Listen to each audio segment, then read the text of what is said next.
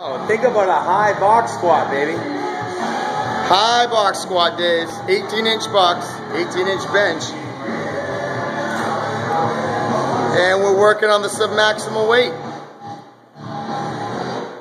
That's right. The more you can do at a high box, the more you can do at 90. Come on, babe, let's do it.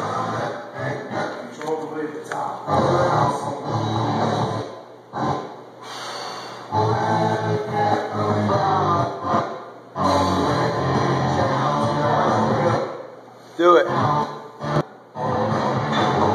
Yep. Come on, get up, get up, get up, get up, get up, get up, get up, get up, get up. There you go, baby. That's how you do it. That's how you do it. Yeah, submaximal weight by the GHB 405 on the 18 inch.